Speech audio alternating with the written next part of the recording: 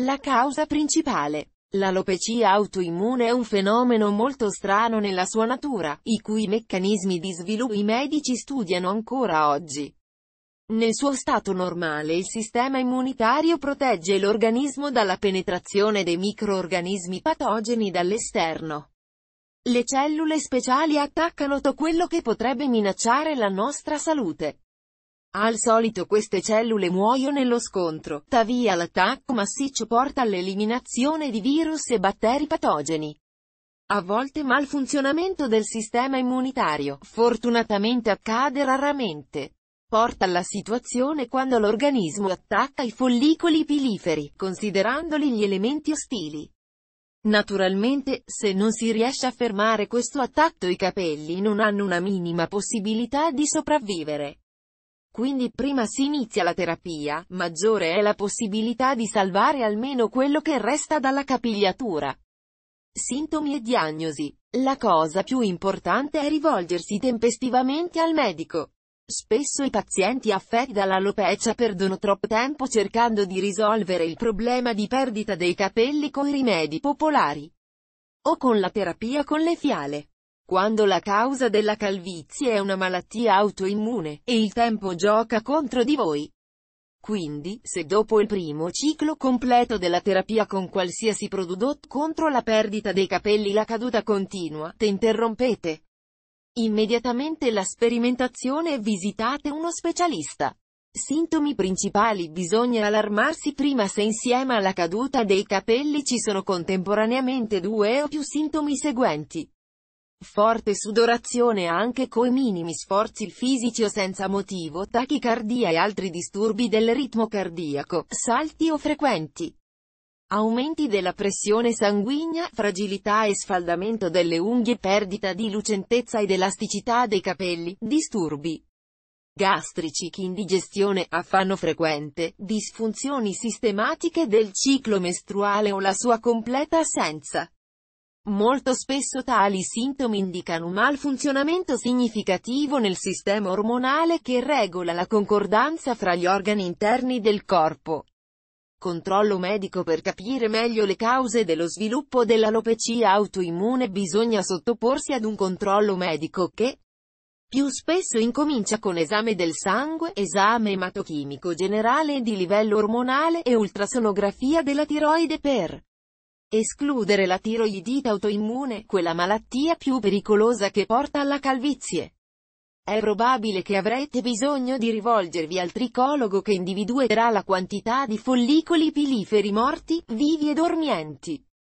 E farà previsioni per un possibile recupero dell'apparato pilifero. Il cardiologo stabilirà se il cuore non sia affetto. Il psicologo spiegherà come affrontare lo stress, anche quello provocato dalla perdita dei capelli.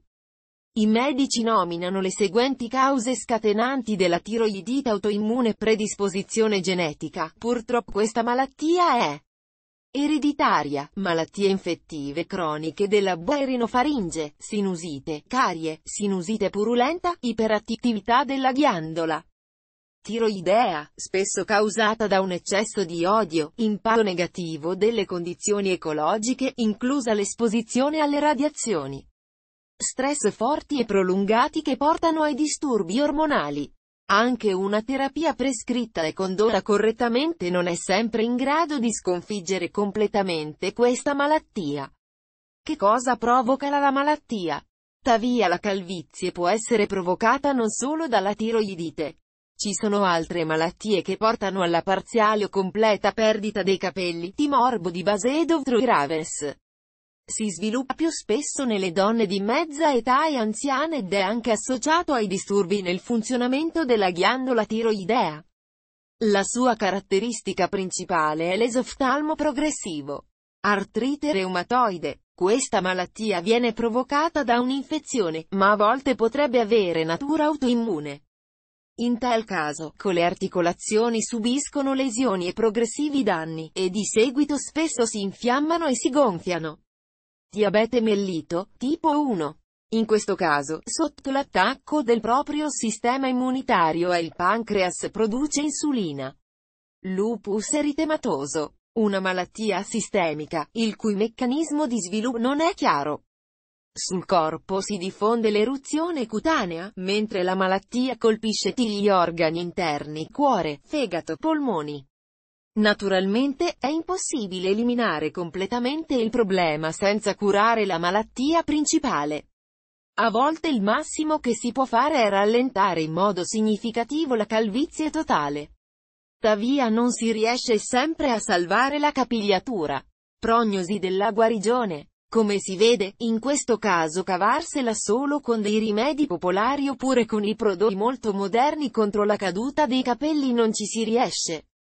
Ma anche questi rimedi non dovrebbero essere scontati, in guerra i mezzi sono buoni possono dare dei risultati eccellenti come parte della terapia completa e accelerare la crescita di nuovi capelli, se è ancora possibile. Nella terapia delle malattie autoimmuni, sono particolarmente importanti la professionalità del medico e l'approccio individuale complessivo al trattamento. In caso dell'alopecia focale, quando i capelli cadono in zone ben definite, la probabilità di fermare la malattia e recuperare completamente i capelli è più alta rispetto alla calvizie totale.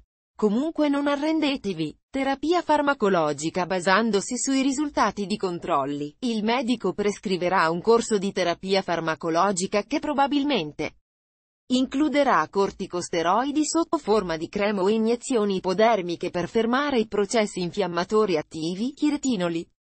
Farmaci che ricostruiscono il cuoio capelluto della testa, minoxidil, e un rimedio efficace per la caduta dei capelli, citostatici. Farmaci che riducono l'attività del sistema immunitario, zinco, per rafforzare e far crescere i capelli, nuovi agenti irritanti dell'azione locale per il risveglio dei follicoli piliferi addormentati e l'attivazione della circolazione sanguigna nel cuoio. Capelluto, complessi multivitaminici, con alto contenuto di vitamine di gruppo B, attivatori di nuova crescita dei capelli. Inoltre, possono essere raccomandati le creme a base di catrame, i decoi e le tinture delle erbe varie, le maschere per capelli, Fai in casa con oli vegetali naturali o, o essenziali. Procedure cosmetiche Procedure cosmetiche scelte correttamente possono essere di grande aiuto nella lotta contro la calvizie. Oggi nella terapia di vari tipi dell'alopecia si usano massaggio alla testa, mesoterapia, laserterapia, elettrostimolazione con microcorrenti, toraggi ultravioletti. Il corso standard di terapia è di 10-15 sedute 2 a 3 volte a settimana. Con un tale approccio integrale e una terapia iniziata in tempo, c'è un'alta probabilità che la perdita di capelli si arresti completamente. Lo confermano le recensioni dei numerosi pazienti.